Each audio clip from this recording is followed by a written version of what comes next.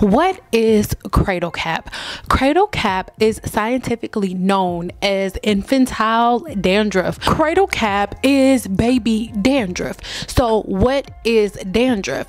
Dandruff is an overproduction of sebum within the sebaceous gland. When you have this overproduction of sebum and it's a, mild overproduction of sebum, what happens is there is also a buildup of bacteria and a buildup of yeast within the hair's follicle. When we are talking about cradle cap, cradle cap is dandruff in babies, right? Because a baby just got here. So your baby has a sebaceous gland just because you have a sebaceous gland, right?